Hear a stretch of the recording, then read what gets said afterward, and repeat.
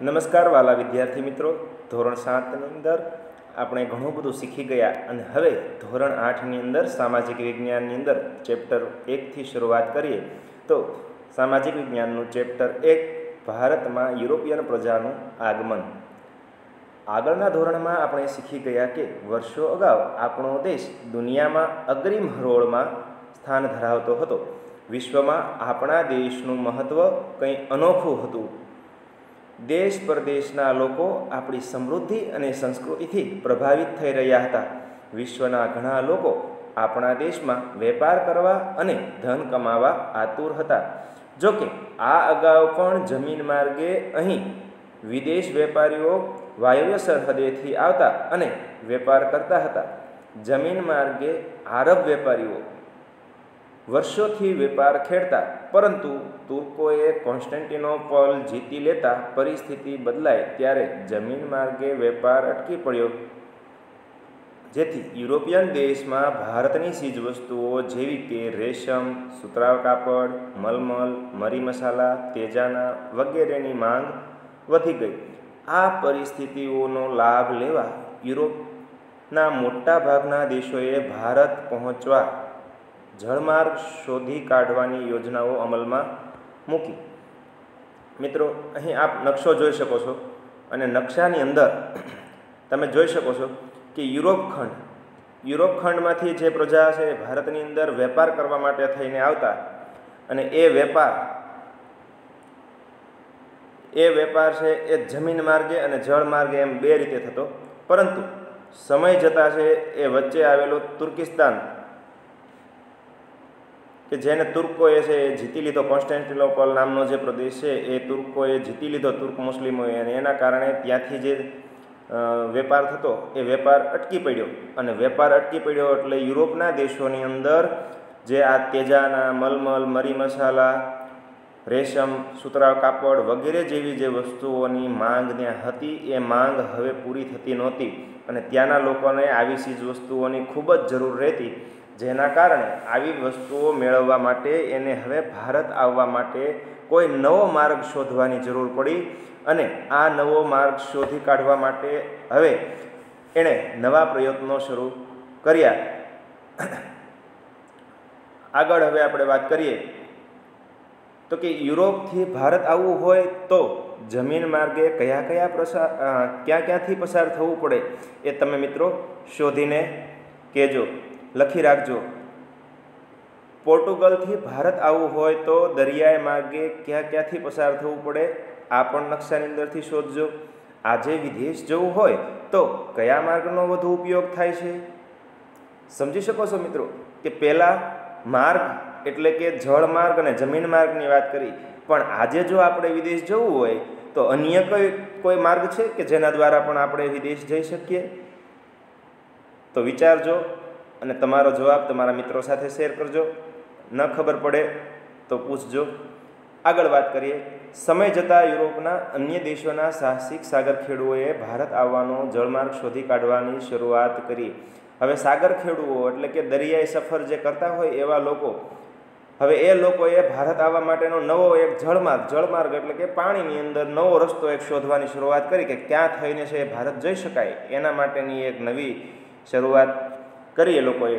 અને એની અંદર હવે આપણે ક્રિસ્ટમ્ફર કોલમ્બસ નામના માણસની વાત કરવાની છે. ભારત આવવાનો, જળમાર્ગ શોધવાનું, બીડું ઝડપનાર એટલે કે ભારત આવવા માટેનો રસ્તો શોધવા માટે એક ઉત્સાહી, ઉત્સુક એવો માણસ કે જે ક્રિસ્ટમ્ફર કોલમ્બસ એવો સાહસિક ઇટાલીનો રહેવાસી.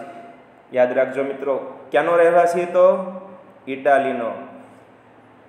પ્રસિદ્ધ એવો ક્રિસ્ટમ્ફર કોલમ્બસ હતો. તે માનતો હતો કે પૂર્વમાં જવા માટે પશ્ચિમ બાજુએથી પણ જઈ શકાય છે.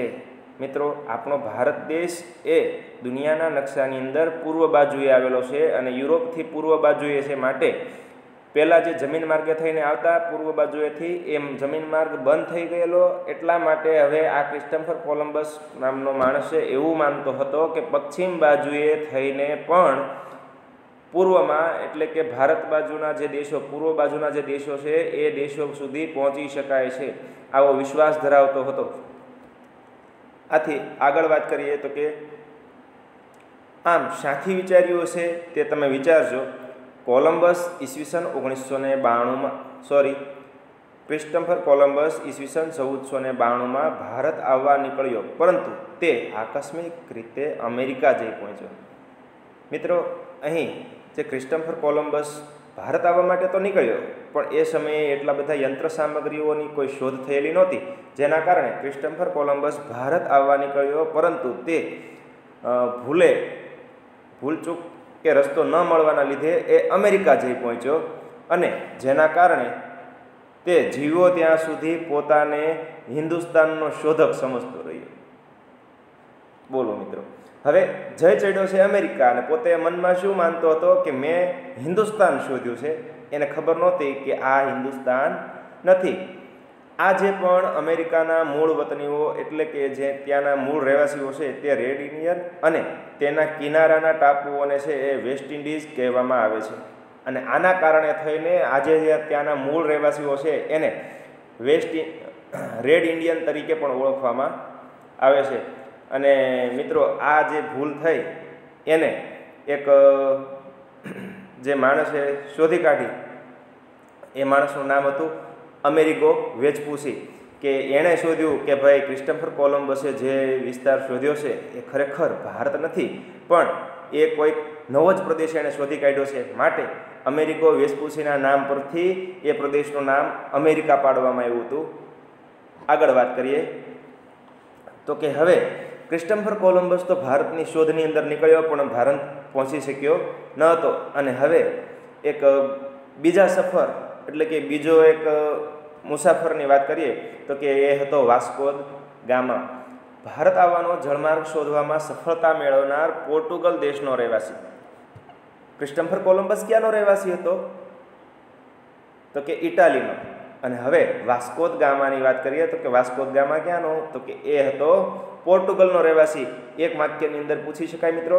યાદ રાખજો કે ભારત આવવાનો જળમાર્ગ શોધવામાં સફળતા મેળવનાર પોર્ટુગલ દેશનો રહેવાસી વાસ્કોદ ગામા હતો. ક્રિસ્ટમ્ફર કોલમ્બસ શોધવા તો નીકળ્યો હતો, પણ સફળતા મળી નહોતી.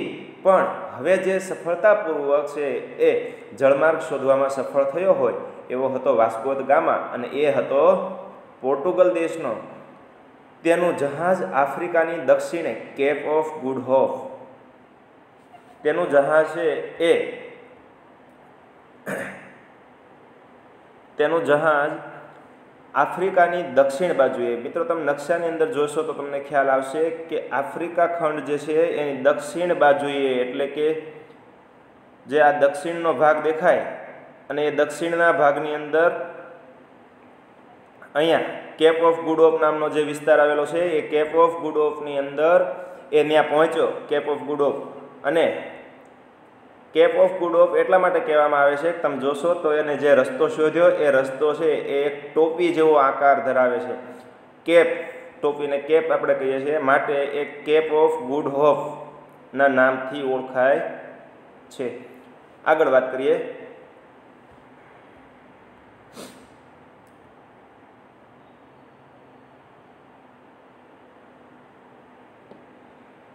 અને અમે આફ્રિકાના પૂર્વ કિનારે છે એ પહોંચ્યો અને ત્યાં દક્ષિણે જે કેપ ઓફ ગુડ ઓફ હતું, તેના ફરતે તે ચક્કર લગાવીને આફ્રિકાના પૂર્વ કિનારે એટલે કે મલિંદી મલિંદી પહોંચીને હિન્દ મહાસાગરમાં આગળ વધતા તેમને મહમ્મદ ઇબ્ન મસ્જિદ મિત્રો નામ યાદ રાખજો કે ભારતનો એક ખલાસી ખલાસી એટલે કે દરિયાઈ સફર કે જે જહાજ ચલાવતો હોય એવા માણસની મુલાકાત થઈ.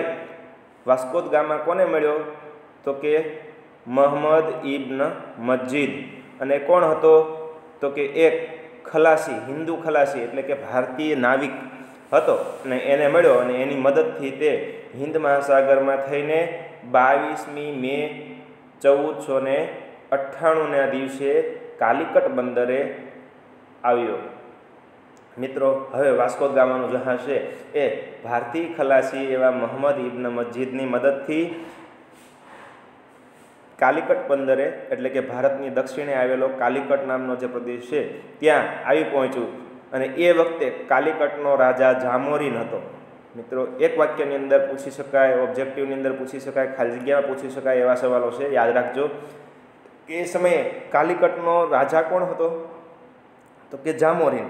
તેણે આ પોર્ટુગીઝ લોકોને છે વેપાર કરવાની છૂટ આપી અને ત્યાં વાસ્કો ગામમાં એ વેપાર કરવા માટેની છે એ પરવાનગી માગી અને જે આ જામોરીન હતો, કાલિકટનો રાજા, એણે આ પોર્ટુગીઝ પોર્ટુગીઝ એટલે કે પોર્ટુગલ દેશના રહેવાસીઓ હતા, માટે એને પોર્ટુગીઝો તરીકે ઓળખાય, તો આ પોર્ટુગીઝોના છે એ વ્યાપાર કરવા માટેની છે એ છૂટ આપી. તમને એક વાક્યની અંદર પ્રશ્ન પૂછી શકાય કે પોર્ટુગીઝોને વ્યાપાર કરવાની છૂટ કોણે આપી હતી? તો કે કાલિકટનો રાજા જામોરીને. આગળ વાત કરીએ તો કે ઈસવીસન પંદરસો ને બેમાં પોર્ટુગીઝોએ વેપાર કરવા માટે કાલિકટમાં કોઠી સ્થાપી. પ્રથમ કોઠી પોર્ટુગીઝોએ ક્યાં સ્થાપી હતી અને ક્યારે સ્થાપી હતી? આવો સવાલ પૂછાય તો યાદ રાખજો કે પંદરસો ને બેની અંદર કાલિકટની અંદર પ્રથમ કોઠી સ્થાપવામાં આવી. કોઠી એટલે કે વ્યાપારી મથક. બરાબર? વેપાર કરવા માટેની જે આપણે દુકાનો કહીએ ને, એ રીતનું એક વ્યાપારી મથક છે. એ કાલિકટની અંદર પ્રથમ સ્થાપવામાં આવ્યું. તેના ફરતે કિલ્લેબંધીઓ કરવામાં આવી હતી. એટલે કે જે આ કોઠી બનાવવામાં આવી, એના ફરતી કિલ્લેબંધી કિલ્લેબંધી એટલે કે મોટી ઊંચી દિવાલો. બરાબર? તો આ કોઠીની ફરતે છે મોટી ઊંચી દિવાલો બાંધવામાં આવી હતી. અલ્બુકર્ક નામનો અલ્બુકર્ક નામનો જે એક સેનાપતિ હતો, તેને આ કોઠીઓના રક્ષણ માટેનો રક્ષક નિમ્યો હતો. અને જે આ પોર્ટુગીઝોની એક વ્યાપારી કોઠી હતી ને, આ વ્યાપારી કોઠીની છે એ સુરક્ષા માટે થઈને અલ્બુકર્ક નામનો જે ત્યાંનો સેનાપતિ હતો, એ સેનાપતિને આ કોઠીઓનું છે એ રક્ષણ કરવા માટે રક્ષક તરીકેની છે જવાબદારી સોંપવામાં આવી હતી. હવે, અલ્બુકર્કે ઉત્તર તરફ આગળ વધીને છે ઈસવીસન પંદરસો ને છમાં ગોવા જીતી લીધું. ક્યારે તો કે પંદરસો ને છની અંદર અલ્બુકર્ક આગળ વધ્યો ઉત્તર તરફ અને ઉત્તર તરફમાં આગળ વધીને છે પંદરસો છની અંદરનો જે ગોવાનો પ્રદેશ છે એ પણ જીતી લીધો. સો વર્ષમાં પોર્ટુગીઝો મેંગ્લોર, કોચી, લંકા, દીવ, ગોવા અને મુંબઈના બેટ તેમના નિયંત્રણમાં લાવી શક્યા. જો મિત્રો, હવે એના વ્યાપારનો ફેલાવો થયો. બરાબર? કાલિકટની અંદર વ્યાપારની શરૂઆત કરી અને ત્યારબાદ એ આગળ વધીને ક્યાં તો કે ગોવા જીતી લીધું. ત્યારબાદ છે એ મેંગ્લોર, કોચી, લંકા, દીવ, ગોવા અને મુંબઈ જેવા છે એ બેટ તેમના નિયંત્રણની અંદર એટલે એના અંકુશની અંદર આવી ગયેલા હતા. હવે પોર્ટુગીઝ સત્તાનો ઉદય થયો. પોર્ટુગીઝ સત્તાનો છે, વ્યાપારનો ફેલાવો થયો. આ બધી વાતો આપણે સમજ્યા. હવે આગળ વાત કરીએ તો કે પોર્ટુગીઝ સત્તાનો અંત કેવી રીતે આવ્યો? એની વાત તો કે પોર્ટુગીઝ સત્તાનો અંત સત્તરમી સદીની શરૂઆતમાં પોર્ટુગીઝોનો વેપાર બંગાળ તરફ વધવા લાગ્યો. સત્તરમી સદીની શરૂઆત એટલે કે ઈસવીસન સોળસો પૂરી થઈ અને સત્તરસોની ઈસવીસન શરૂ થઈ એટલે કે સત્તરમી સદીની શરૂઆતમાં જ્યારે પોર્ટુગીઝો વ્યાપાર કરવા માટે હવે બંગાળ તરફ આગળ વધતા હતા અને બંગાળ તરફ આગળ વધવા લાગ્યા. આ સમયે મુઘલ બાદશાહ શાહજહાંનું દિલ્હીની અંદર શાસન હતું. મિત્રો, આપણે આગળ મુઘલ સામ્રાજ્યવાળા જે પાઠ ભણી ગયા, ધોરણ સાતની અંદર, એ યાદ કરશો એટલે ખ્યાલ આવશે કે શાહજહાંનું શાસન દિલ્હીની અંદર ચાલતું હતું અને એવા સમયે આ પોર્ટુગીઝ સત્તા છે એ બંગાળ તરફ આગળ વધતી હતી. આ સમયે મુઘલ બાદશાહ શાહજહાં દિલ્હીની ગાદી પર હતો અને બંગાળમાં તેના સુબાએ પોર્ટુગીઝોના વર્તન સામે શાહજહાંને ફરિયાદ કરી, જે શાહજહાંનો સૂબો બંગાળની અંદર જે શાસન કરતો અને આ પોર્ટુગીઝોનું છે અયોગ્ય વર્તન, એ સુબા સાથેનું અયોગ્ય વર્તન હતું, એના કારણે થઈને આ સુબાએ છે, એ શાહજહાંને દિલ્હીના બાદશાહને છે ફરિયાદ કરી અને જેના પરિણામે શાહજહાંના ફરમાનથી તેની હુગલીની કોઠી તોડી પાડવામાં આવી. મિત્રો, બંગાળની અંદર જે હુગલી નદી આવેલી છે, હુગલી નદીના કિનારે જે આ પોર્ટુગીઝોએ કોઠી સ્થાપેલી, આ કોઠીને છે એ બાદશાહ, દિલ્હીનો બાદશાહ શાહજહાંના ફરમાનથી છે એ કોઠી તોડી પાડવામાં આવી અને તેના જે પોર્ટુગીઝોના વહાણ હતા એ સળગાવી દેવામાં આવ્યા. શાના કારણે તો કે પોર્ટુગીઝોનું છે એ અયોગ્ય વર્તન હતું. બંગાળનો જે સૂબો, ત્યાંનો જે શાસક હતો, એની સાથે અયોગ્ય વર્તન હતું એના કારણે એને શાહજહાંને ફરિયાદ કરી અને શાહજહાંએ દંડ આપ્યો અને એના પરિણામે એનું છે કોઠીઓ છે તોડી પાડવામાં આવી અને જહાજો જે હતા એના માલ સામાન ભરેલા એ સળગાવી દેવામાં આવ્યા. આમ પોર્ટુગીઝ સત્તાનો અંત આવ્યો અને પોર્ટુગીઝ સત્તા ફક્ત દીવ, દમણ અને ગોવા પૂરતી જ રહી. બાકીની જગ્યાએ જે એની સત્તાઓ જે વધારી હતી એ બધી જ સત્તાઓ છે એ પાછી મેળવી લેવામાં આવી. હવે ફક્ત પોર્ટુગીઝોની સત્તા ક્યાં પૂરતી મર્યાદિત હતી? આવો પ્રશ્ન પૂછાય તો યાદ રાખજો કે પોર્ટુગીઝ સત્તાનો અંત આવ્યા પછી તે ફક્ત દીવ, દમણ અને ગોવા પૂરતા જ તે સીમિત રહી ગયા હતા. આગળની વાત હવે તો કે પોર્ટુગીઝ પછી ભારતની અંદર કોણ આવ્યું? તો કે પોર્ટુગીઝ પછી છે એ ડચ લોકો છે ભારતની અંદર આવ્યા. પોર્ટુગીઝોના આગમન પછીના સો વર્ષે, લગભગ સોળમી સદીના અંત ભાગમાં હોલેન્ડ એટલે કે હાલનું નેધરલેન્ડ. મિત્રો, પોર્ટુગીઝ સત્તાનો જ્યારે આગમન થયું, એ પછી સો વર્ષ પછી, સો વર્ષ પછી લગભગ એટલે કે સોળમી સદીના અંત ભાગની અંદર પોર્ટુગીઝો જ્યારે હતા, એ પછી સો વર્ષે એટલે કે સોળમી સદીનો અંત ભાગ થાય એવા સમયે હોલેન્ડ, એટલે કે હાલનો જે નેધરલેન્ડ દેશ આપણે કહીએ છીએ ને, એ નેધરલેન્ડના છે એ રહેવાસીઓ, ડચ લોકો. નેધરલેન્ડના રહેવાસીઓ કયા નામથી ઓળખાતા? ડચ.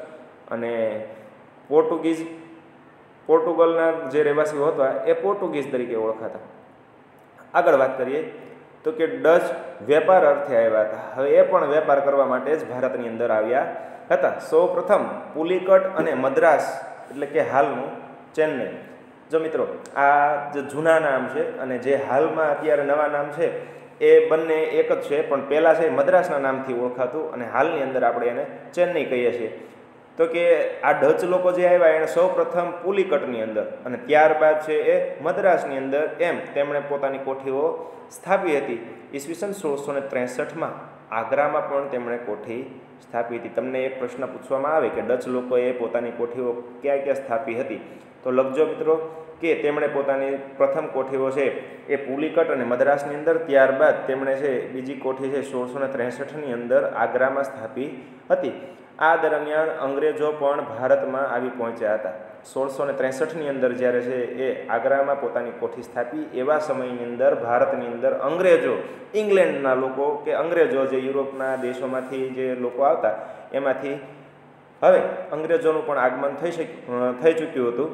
ડચ લોકોએ અંગ્રેજો સામે છે સ્પર્ધામાં ટકી શક્યા નહીં. અને પરિણામે હવે વ્યાપારની અંદર એક કોમ્પિટિશન સ્પર્ધા ઊભી થઈ અને આ સ્પર્ધાની અંદર છે એ ડચ લોકો છે એ અંગ્રેજોનો સામનો કરી શક્યા નહીં. અને પરિણામે હવે એક શક્તિશાળી એવી સત્તા બનતી જતી હતી કોની? તો કે અંગ્રેજોની. હવે એના વિશે વાત કરશું આપણે આગળ. તો કે ભારત પર અંગ્રેજોની નજર. હવે પોર્ટુગીઝો અને ડચ લોકોની તો સત્તા. ઘટતી જતી હતી. અને એના પ્રમાણમાં કોની? તો કે અંગ્રેજોની સત્તાનો છે એ વિસ્તાર વધતો જતો હતો.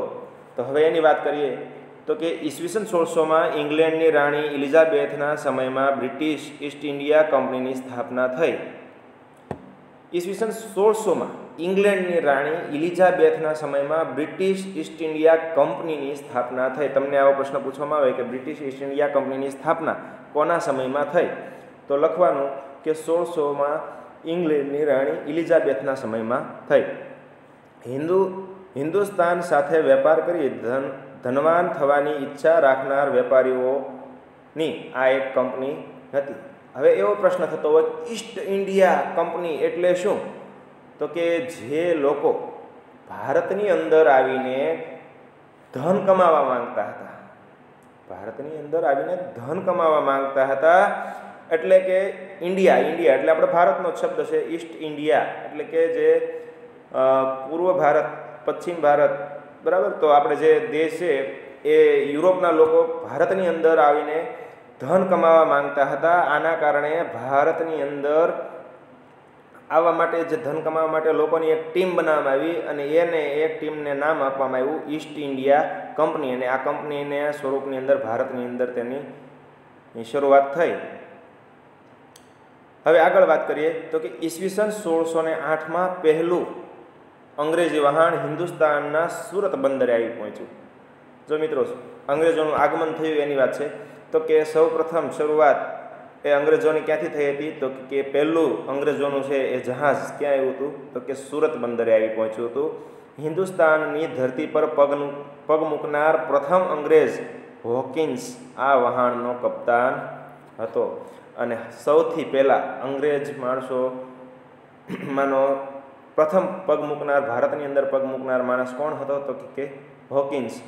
તે જહાંગીરને મળ્યો, પરંતુ પરવાનગી મળી નહીં. અને એ સમયની અંદર ભારતની અંદર શાહજહાં બાદ જહાંગીરનું શાસન આવેલું અને જહાંગીર પાસે એણે ભારતની અંદર વ્યાપાર કરવા માટેની પરવાનગી માંગેલી, પરંતુ પરવાનગી મળી ન હતી. ત્યાર પછી દિલ્હીની સત્તા પર શાહજહાં પાસે આવી. અને જહાંગીર બાદ શાહજહાં જ્યારે ગાદી પર હતો, ત્યારે શાહજહાંએ અંગ્રેજોને બંગાળમાં વેપાર કરવાની છૂટ આપી હતી. જહાંગીરે છૂટ ન આપી. જહાંગીરે હોકિન્સને છે વેપાર કરવા માટેની છૂટ આપી નહોતી, પરંતુ જહાંગીર પછી જ્યારે છે શાહજહાંનું શાસન આવ્યું ભારતની અંદર.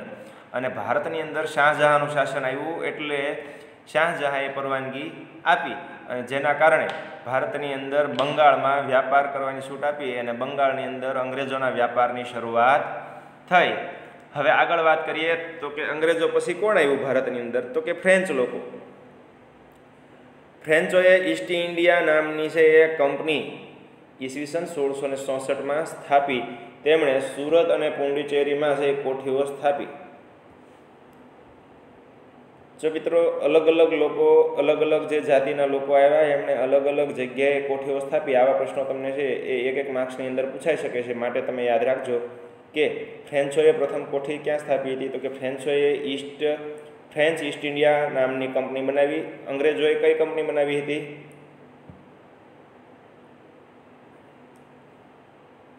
અંગ્રેજોએ કઈ કંપની બનાવી હતી?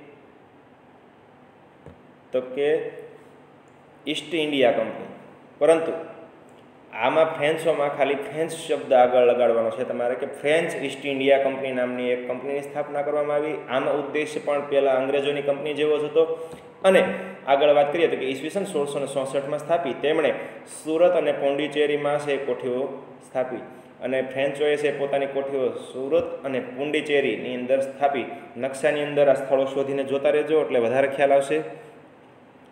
ફ્રેન્ચોની કંપનીનો છે વડો, દુપલે હતો.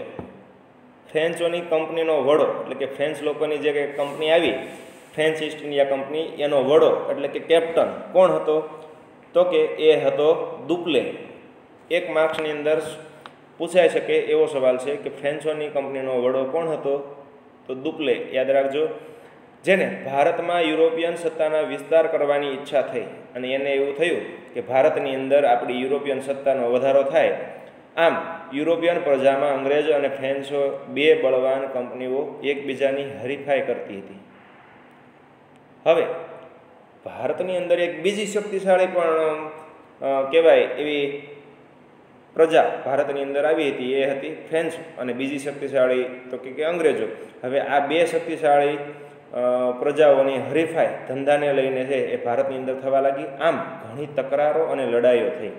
હવે ફ્રેન્ચો અને અંગ્રેજોની વચ્ચે છે એ ઘણી તકરારો અને લડાઈઓ થવા લાગી, જેમાં છેવટે અંગ્રેજો છે એ સફળ થયા.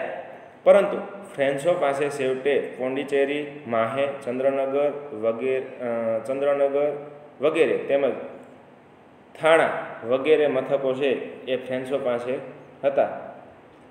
તમને એવો પણ પ્રશ્ન પૂછાય કે ફ્રેન્ચો પાસે છેલ્લે કયા નગરો વધ્યા હતા? તો કે પોંડિચેરી, માહે, ચંદ્રનગર વગેરે જેવા છે એ મથકો એમની પાસે હતા. હવે આગળનો જે પ્રશ્ન આપણો છે બંગાળમાં અંગ્રેજોના વેપાર માટેનો, એ પ્રશ્નની વાત આપણે આગળના લેક્ચર્સની અંદર કરશું. હાલ, આવતીકાલનું હોમવર્ક તમે લખી લેશો. તમારે હોમવર્કની અંદર ભારતમાં જે યુરોપિયન પ્રજાનું આગમન થયું, એની અંદર કઈ કઈ પ્રજા આવી? એના વિશેના છે એ દરેક ટોપિકને લઈને દસ દસ સવાલ એટલે કે કુલ એક એક વાક્યના એવા ત્રીસ સવાલ બનાવીને જાતે આપવાના છે. ઓકે ગુડ બાય ફરી મળશું.